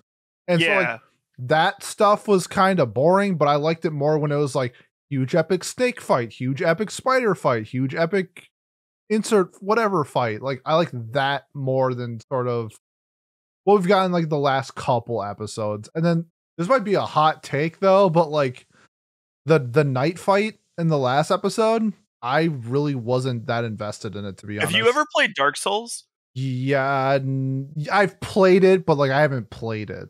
Okay, because like to me, that was just like such a Dark Souls fight, and it was like really epic in that that sort of way. Um, yeah, I um definitely feel like I'm in the minority on this one. Like okay, because like I mean, I don't like fights, and I was like, "Holy shit!" like that. That was really. This is also super dumb, and I know it's called solo leveling. I feel like he's leveling too fast. yeah, yeah, I agree. Like I feel like it, the, that that night fight is like season four fight. Uh, sure. I mean, I don't, I don't know, man. Like, what, what even is the power scaling? He said that he feels like he's like B rank right now. Um, yep. in the most re- recent episode, I don't think that the red haired guy is going to be evil, by the way, because he's like going to avenge his friends from the Ant Island or whatever, because they had like that massacre. Yeah, but Cass rules everything around them. Have you seen the boys? Yeah. I, I have seen the boys. I, I love the boys. Very little of the sinister levelness of what the seven do in the boys has happened in this. Yeah, but like uh in the beginning of the boys, like they're not all portrayed as H Ray murders someone. Well, H. Uh, that's why I said everyone. Not everyone is portrayed sexually assaults someone in the first five minutes. Bro, you're making you're you're you're you're saying things that are true and are rooting my point. Okay, I'm saying not. You know how at the end of the boys, like everybody is in on it. You know. Yeah, yeah, yeah. We don't know that yet in solo. Isn't there like isn't there like a like a, yeah it is okay. I guess like you know how at the beginning of episode one of the boys you like learn via the lawsuit that Hughie tries to do that they're all in on it and that it's like well, there's like, like, a corporate conspiracy. You didn't know like Black Noir was like in on it, in on it, and stuff like that. this is really bad, but I'm just only comparing it to the boys. There's some context that's missing. That's what I'm trying to say. I, that's I think that's fair. I think we'll learn some more about this organization. Like I definitely don't think you're wrong there. I just don't think that they're like that evil. Mm-hmm. Like it like I am sure they're evil, right? Cuz they're a giant corporate entity and those are generally pretty evil. But like there's levels to it, I guess. Like they're not Boeing, you know what I mean? like um true. You know, I don't know. Uh, I, I sort of agree with you. They had two arcs in a row that was like someone betrays him in a dungeon. And I thought that was like a little repetitive. Like I think you want to like sort of split that up a teeny bit, but I don't know. I, I mean, I just watched that night fight yesterday and I thought it was really tight. So it the currently the show is doing no wrong for me because he fought he fought someone in armor and I thought it was neat. That was neat. Um, just another so show I, did a little bit better for me. Dungeon, who, Dungeon Meshi. Mm. He fights living armor in Dungeon Meshi. Yeah, no, I saw that. Okay, you thought that was better. I loved that episode. I okay. I loved that episode. Uh, where I, I like don't want to say that we're gonna have to fight each other in like twelve weeks, but Yo, if you give it a to. seven, I'm punching you. Oh. Oh. Okay. Well, we're good. All right. Um. that. what are your thoughts on solo leveling?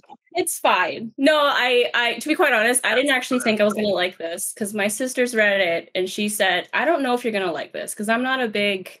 I like action, but when it's like repetitive like this and solo leveling and there's not enough characters and del- like character development with like relationships, I'm kind of like out of it. It's fine. Will I watch season two? Probably, but like it, has been cool. I think like the one thing I want to say is that what stood out to me was Jinwoo's voice actor because I think he was a standout for me this season only because like he did that voice change and I totally thought they changed voice actors when Jinwoo like evolved and to his like his upper level when he person. got hot. When he got hot, yeah, he yeah. changed and I and I was like, oh, is it a new voice actor? But it's the same one same guy. So I thought that was pretty cool. Um, the other thing, I love music, so like I think Hiroyuki Sawano was probably the best person to do the soundtrack because he's known for doing a lot of like intense battle scene music. Like he's done Attack on Titan, I think he's most known for that, and he also did 86, aka 43. 43, thank you. Um, but I think like OST was absolutely incredible. I think he, Hiroki like nailed it for sure. The OP's fine. I, I have a gripe about it, but I, I skipped it most of the time. So yeah. Yeah. Yeah. Uh, solo leveling does solo leveling things. And I think it's to the point. I don't know how much more we want to talk about this just because we're maybe a little bit long on time. I'm giving this an eight. Uh, I think it's solid. I will watch the second season if we get more content. Wow. Yeah, the show is also an eight for me. Uh, I think that I, I okay. This is like I don't think anyone is wrong when they talk about how the supporting cast is weak, but I do think that the supporting cast is like maybe a little stronger than like the general like meme would suggest. Like it's definitely not a strong one, but I find all of the characters to be generally enjoyable, though admittedly rather two to one dimensional, right? Like they're not complex characters. They don't move the plot along very much. But like the the martial arts guy with one arm is like pretty neat. Mm-hmm. You see him a few times. He like meets up with some of the guys who abandoned him, and like I thought that was pretty nice. Um, his sister's sort of fun like she was definitely having some sort of like existential crisis when her brother became the hottest guy on earth uh, and i thought that was like a little bit of a fun bit you know so uh, uh, 8 out of 10 for me. Yeah i'm also at an 8 i think like even with the next episode airing i think it's still gonna stay at an 8 for me. Right on three eights. Okay so now we're getting into shows that we whatever watched or dropped or whatever that we're not going to talk about. Cozette take it away I can finally give light to this show that I want everybody to watch. And it's Undead Unwanted Adventure. I loved it this season. It was a show that I didn't think I was going to put in my top personal five. Um, if you love fantasy, I highly recommend it. Um, the whole reason why I love it is because of the main character, Rentt. I think he's such a green flag. He's such a good soul. In some ways, he reminds me of Himmel a bit. I wouldn't, I guess, in some way, it is an underdog story because he dies and then he has to build back up to like an actual human human being. Um, but I just love this show so much. And obviously, like like Rose in Healing Magic, there is Lorraine. I think we talked about Lorraine a million times in the Discord, but she's wonderful. She's she's a researcher. She's smart. She's a lot like Mao Mao in ways because she just wants to like research Rentt and see why he's evolutionizing the way he is.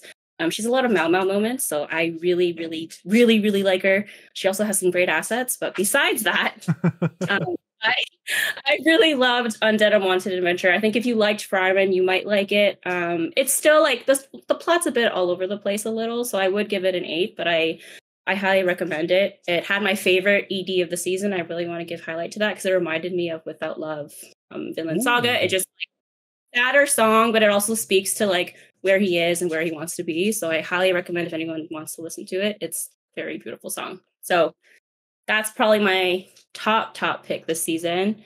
Um, the one I want to rant on, which I think you all know what I'm going to rant on, which the beast, the witch, witch and the beast.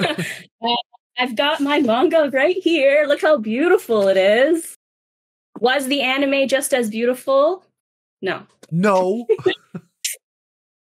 So as a I will say, so I'm going to say this. The manga right now is an 8 for me, so it's not even like a top 10. Like the story's fine. What I love about The Witch and the Beast is the characters and the art style. I will say like to the production company that did it, they tried their best. It's it's a very hard manga to adapt. When you look at the art, I I compare it to like the way the Berserk looks. It's very dark.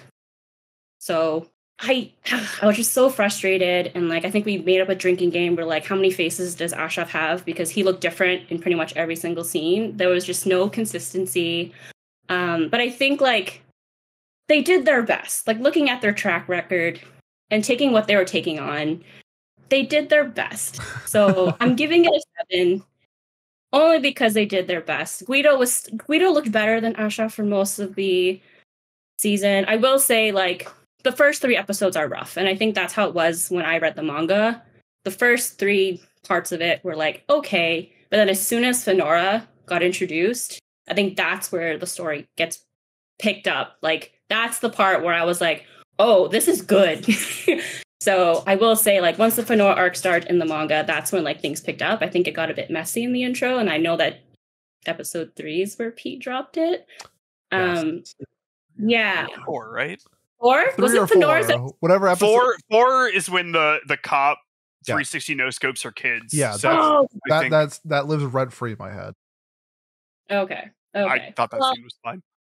Um, but yeah, I think it was fine. So I'm giving it a seven because they tried their best. A for effort. I will recommend the manga like a hundred percent. Will it get a second season? Probably. Will I still watch it? Probably. I know Miles watched it too, so I'm curious what Miles has to think about this one. Yeah, yeah so I'm a little bit behind on it still, but I mean, I I don't like. Uh, is it not good looking? No, it's not. Like that that is a hundred percent correct. But I think the world is like super super neat in it. It's like pretty grim, and the way that like the magic systems works with like the lettering going around the arms and stuff, yeah. I thought think is like really cool. There's like a scene where they're talking in a restaurant and they're using magic to sort of give them soundproofing, which I think is very cool. You know, there's a lot of like practical uses of the magic that we see happen, which is something yeah. that I always always like to see. Also, Fenora is mommy, so um, you know I like that. I don't know, it, it really does just sort of have that. I don't know, vibe or whatever to it. It's sort of like a a, a darker uh, Victorian magic sort of yeah steampunky sort of vibe and i i just like really fuck with that i'd probably give it like a seven as well i'd assume you know i definitely didn't have any of the issues uh pete pete had with it um and so you know I, I i'm not done with it yet but it's definitely one that i'm i'm planning on catching up on you know, and so it's, it's not not not a drop for me. And I think I'm a little higher on it than the the average person, but it is. Yeah. I mean, it's just such a cool setting and vibe. So yeah, the keep the characters keep me going. To be quite honest, so I'll probably still watch it. The next one, actually, Miles watched this one too. Me and Miles have been watching the same shows. Doctor Elise. Yes. I think I really liked her introduction. I think the first episode really. I think some people said it was a bit intense, but I personally really liked it because it showed like the type of person that she is and how dedicated of a doctor she is and then she gets reincarnated but like i only enjoyed like the medical scenes and only with dr graham i did not care about the prince and i always forget his name because i think he's arnold i didn't care about the king okay, don't disrespect Arnold. He's like Chud Arnold, right? Like he yeah. is goofy and silly, and he's like, I have diabetes and I don't know what that is. Like, um, yeah, so I didn't care about like probably half of the show. I think like I just care about her. I just want her to do like medicine things, kind of like Mao Mao. We just want her to do medical shit and have fun. So it's fine. I I do like it. It's it's sitting at like a seven, maybe seven point five, depending on like where it's gonna go, because there's still like one more episode left. But I think it's fine for like I think it's a shoujo. I actually don't know, but I still enjoyed it. I liked Elise as a character. I just I really don't care about everyone else in her life. So except Dr. Graham.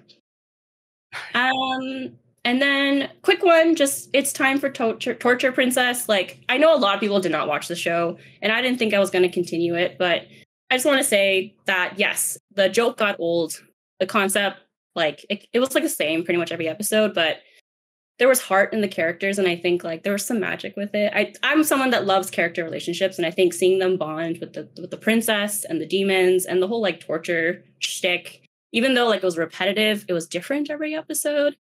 So i gave it a seven. I think it's fine but it's not it's not a must watch and i feel like most people probably wouldn't watch it but i stuck with it surprisingly so i gave it a seven and what i didn't season two yes I think it's like I think it's because it was on a Monday. Okay. That like nothing nothing else was airing. If it was on a Saturday, I'd probably still watch it on the Monday. I think it was fine. It was like a nice show to watch when I was eating dinner. So like I wasn't as invested, but um, I think it was still fun. And I think like it had the second best Mao Mao of the season. There was a Mao Mao.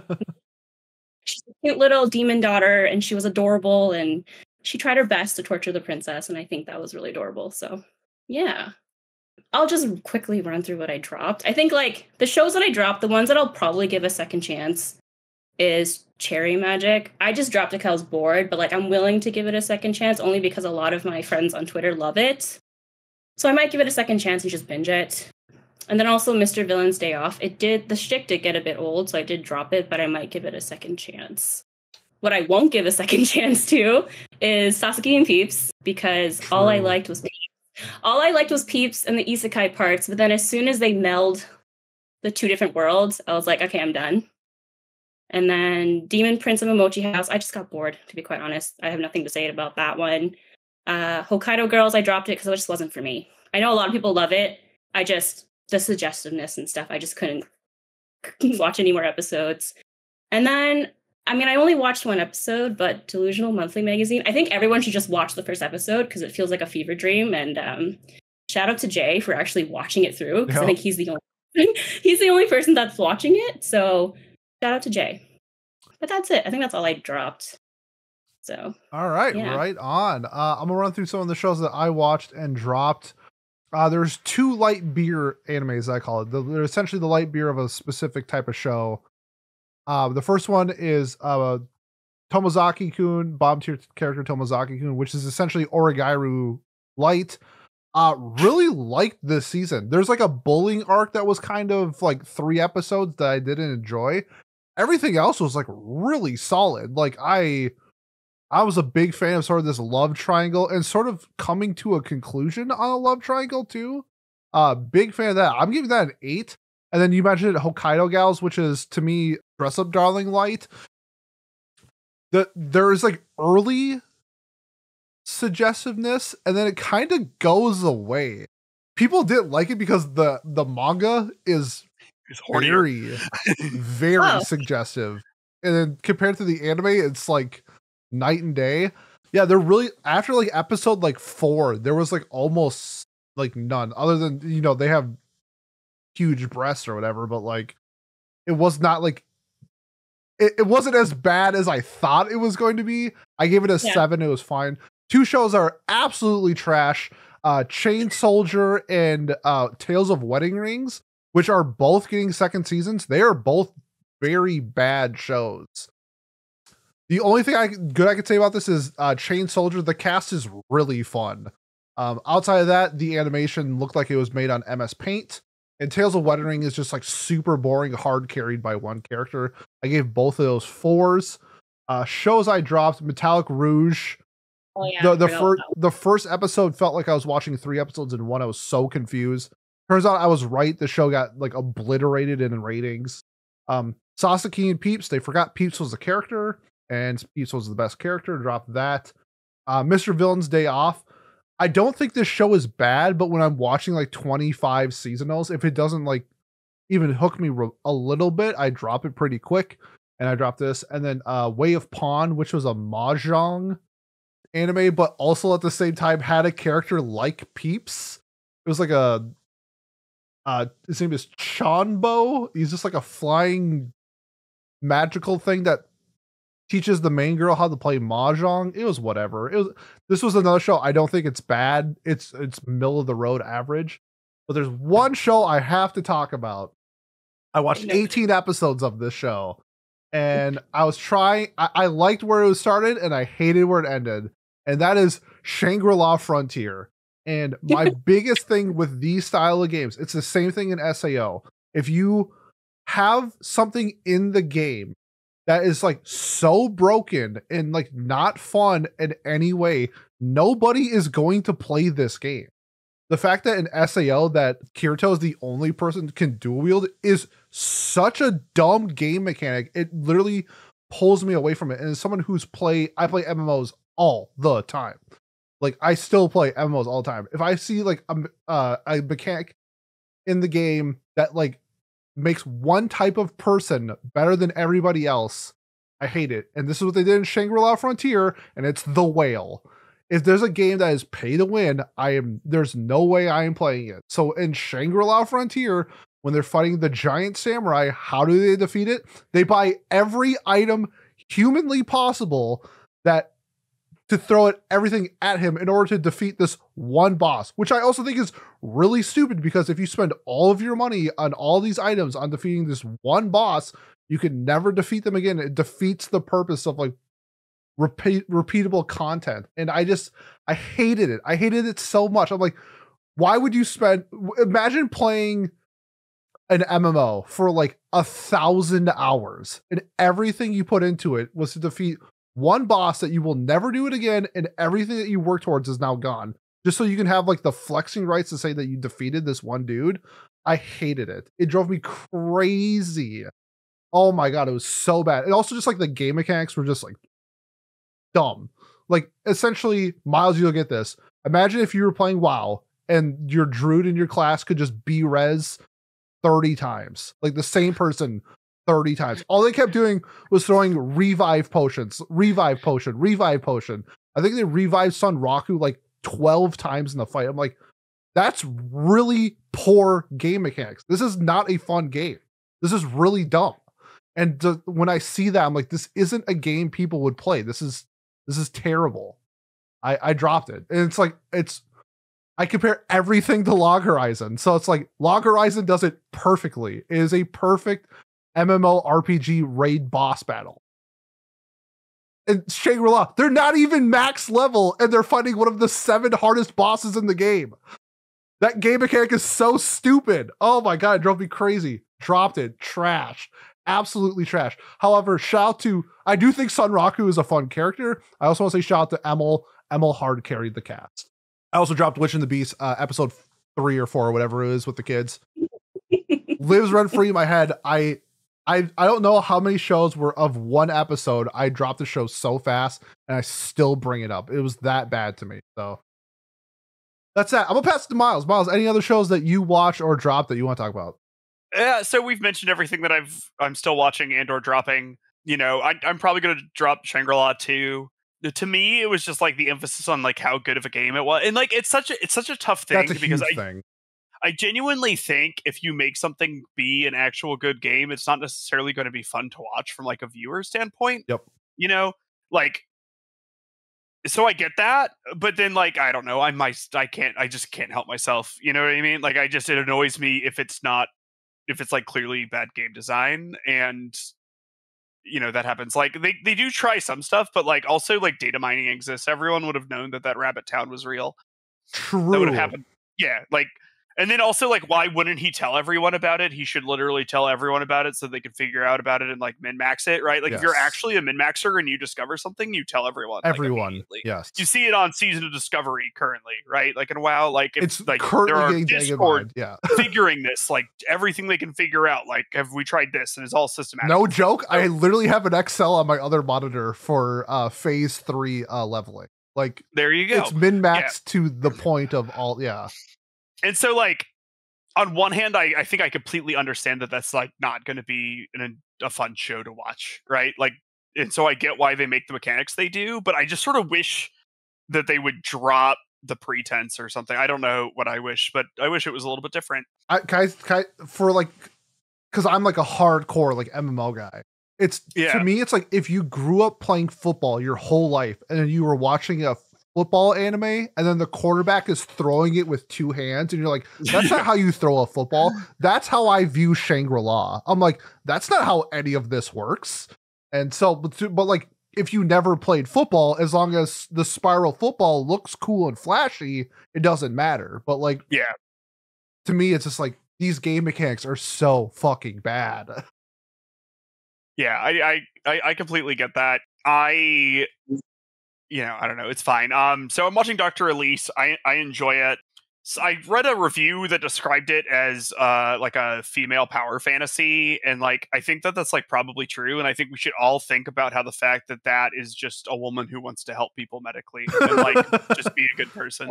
Like that's like we should also sort of reflect on that. Um, there are there there's like similar issues with it to Shangri La, but I, I don't care because I don't.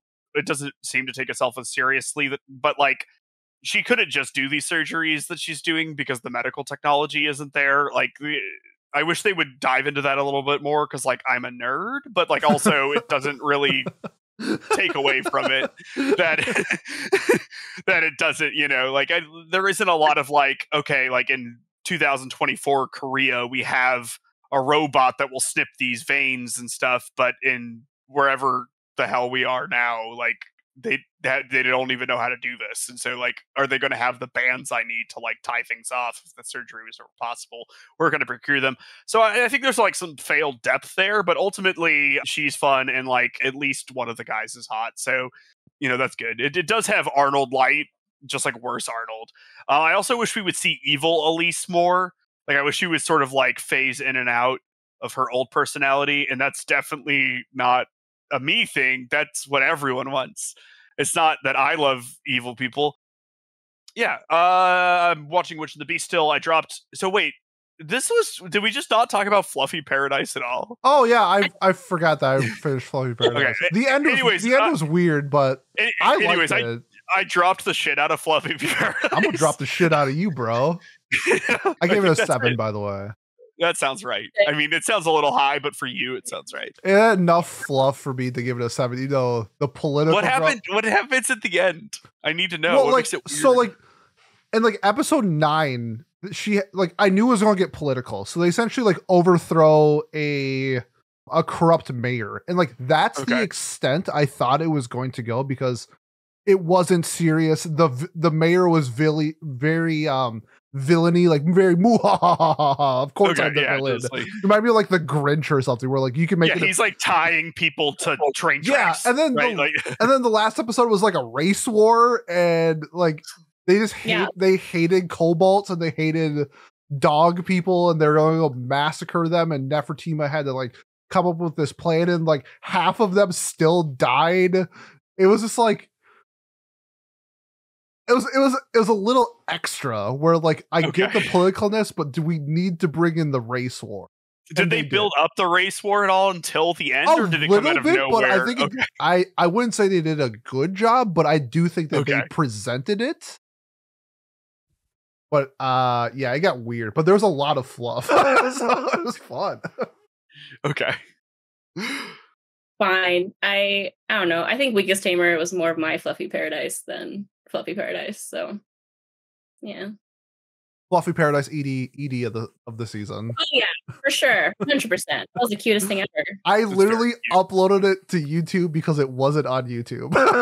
so if you look up Fluffy Paradise ED, if you see a show or if you see a channel called Pete Anime Reacts, that's my channel. because nobody had the Fluffy Paradise ED up. And so I was like, I'm gonna record it and put it up there. Don't sue me. Don't sue me for copyright. I, I promise. I'm sorry. I'll take it down. Do you find it, Miles? Yeah, I'm looking at it right now. Yep, Do you have five subscribers? I know, and I have like three thousand views or something. I wish this was our podcast. uh, Miles, did you have any final thoughts before we jump to our last show? Nope, those were the things that I've touched. Cool. Uh, people mentioned before, uh, Good Arnold. Uh, it's seventh time loop. A uh, for new characters for this season. Uh, Rishe stole the show for me. I loved Rishe. I, I liked how they portrayed almost all of her past lives in this current one.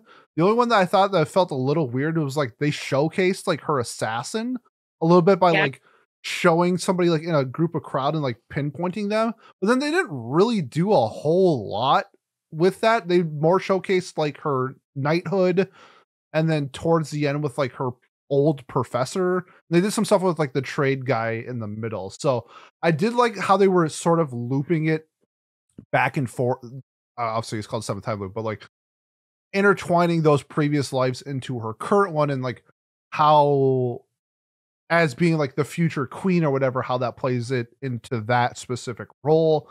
And Rishe was just like so much fun. Like the first episode where she's just like, all right, I'm a dip for this party. Peace. Takes off her heels and just like jumps out a window. I'm like, yeah, yeah, this is the one. Yeah, she's super fun. And then I don't know how you describe the Arnold relationship with her, but I did kind of like this. They obviously both are into each other, but like Rishe doesn't want to admit it because like he literally killed her in a past life. So like I understand the trauma maybe a little bit there. Like he's hot, so like get over it, girl but then like you know like he's like really respectful at times where it's like like he won't touch her if he does touch her like she's allowed to do like she gets something of whatever she wants arnold will like grant it for her so i kind of like this where like arnold sort of like it's like picking and choosing when to maybe like push the boundaries a little bit and Rishe getting a little flustered because I think she kind of wants him to at some point. So that was fun, especially the last scene with the ring, where like she always longed for essentially getting proposed to, but like she doesn't realize it and she got really flustered. That was super cute. Uh, this was a really fun show to watch. Also, shout the mangaka or the author for this is so active on Twitter. Like if you message her or uh, tweet at her, she responds to everything. She is so active on Twitter, just like talking to fans and stuff like that. And I, I don't know if I've ever seen a mangaka be like that active on social media and interacting with people who are watching the show. So shout out to the the the author. That's just that's just super cool. Uh, Miles, what are your thoughts on Seven Time? Yeah, so I, I, very much enjoyed Seven Time Loop. Um, I think that it has a little bit of failed potential. Uh, that I sort of decided that sort of like on the more recent episodes. So when they have like the Black Powder arc with her sort of like alchemist mm-hmm. life, right? I sort of wish we had like heard about these things like a little bit earlier because she was like concerned about this, but only really like when he showed up. But like if if the invention of gunpowder was like actually going to play a big role in the war, surely she would have been like aware of that beforehand, having like done that. So like I wish there was like more seeds of like plot lines to come because she's aware of some of these like very prominent people in society. Um, that being said, overall, I think it's a very enjoyable show. Rishe and Arnold have a very fun dynamic. Um, Rishe is like just a great character. Um, she's very smart and able to interact with people, but they don't like make. She's not like even overpowered though. Like she's really good at a whole lot of things, but there are people that are like better at those individual things. But it's her like eclectic view that she has due to her experiences that allow her to like solve these problems or you know present a solution that these other characters don't necessarily uh, come to or whatever right? She's just like a very well-rounded individual i guess as one would be after they've lived several lives but it really does seem like she's she's made the most of them right and has done important things. So it's always fun to see the flashbacks and how they they pull together and how they relate to like a certain scenario and as we get further along more of her past lives get like brought into like an individual uh scenario which i think is good right like it's like she's pulling from more than one place as opposed to like I used to be a maid, so I know how to make yep. beds, whatever. Like, you know, it's like, oh, I, I know this from when I was an alchemist, but I know this from when I was a merchant, and now I can y- use this because I know this guy personally, but he doesn't know that I know him. And it's just very good the way that all of that sort of comes together. Like, you know, I was saying that I wish these things were foreshadowed a little bit more, and I definitely do, but I think that the way that they're resolved is more or less perfect. You know, so uh, I very much enjoyed this. I hope I hope we get more. Um, I was hoping for like a little more. I feel like we don't have like an overarching plot yet. Like she's trying to stop the war, but like I don't necessarily know if we've like come any closer to like understanding the catalyst for that. Um, other than like maybe Arnold is just kind of evil because he has hinted towards that. Like, and like maybe they're just telling us the truth there. I don't know. Cause that, what do you think? Um, I loved. So I pronounced her name as Riche, so I'm just gonna say Riche. But I just loved her introduction. I think just like jumping off that balcony was like I watched that and I was like, okay, I really like you. Um, but as I mean, I love strong female characters, and I loved her fierce tenacity and like her willingness to learn. And like she she obviously like learned a lot of skills and she used that for her next life um her seventh life excuse me. But um, i really liked your personality. Hot take i don't really care about her and arnold. Like i just Ooh. i just the romance was like oh yeah butterflies but i just i just didn't hit the same as the other romances that i've read but it's fine it's fine. I think like the story could use some work but i still really enjoy it. It it's it's fine. I think she she's a good character, and I like her the most. And I, I think Pete Pete also brought up a good point about the author. I think the author I've seen on Twitter like every day, almost all the time. She's always so active, and she's always promoting her work, and um, it makes me want to look at her work and, and read it because I think it would be really interesting interesting to read. I don't think it was confirmed for another season yet, but no, but it's it has over a million copies sold, which is a good sign. So never say never, I would say, but if I if I was a betting man and I am, I would say probably not. Yeah, I if it did happen, I still would watch it. I think like the overarching arc is just making Arnold a good guy, you know, like yeah. when she made him collab not collaborate, but like make peace with the other city. So that's her little ways of doing that. And then I thought it was really cute how like she wanted to get proposed to because I feel like she's lived so many lives but like her first life, she was dumped. And so she's lived many lives without like a relationship. So mm-hmm. I think like, now that she's like yearning for it, it's finally happening. I thought that was really cute. So yeah. Could not agree more. This was just a lovely watch. Coming into it, it wasn't even on my radar. Uh, shout out to Miles for putting it on my radar. So uh, I- am sure I would have watched it anyway because everybody else was watching it, but gotta give credit where credit's due. Uh, I'm giving the show an eight. I thoroughly enjoyed it. I, I had a lot of fun. I do think that if I did like how they showcased her previous lives in this current life, but I do wish they did a little bit more with it. So, like an example was would be like you know using her assassin skills somehow mixing it with her maid skills. I don't know how you could do that, but I think it would be fun if you could somehow intertwine some of these, or like you know if she's a knight and an alchemist, you can use like an acid potion while she's fighting or something. I think that'd be really fun. Uh, mixing those together, but I think this was really good, and if we get another season, I'll definitely watch it. Yeah, I mean, I agree. I also have this at an eight out of ten. I, I would want to watch more, you know, and I, I think that there's a lot of interesting characters. I think that sometimes things get tied together a little too comfortably. Um, like like she was like totally kidnapped, and then like was like, "Don't worry, I, I get it." Like you know, you just want to impress your brother. That's why you kidnapped me. oh, um, you.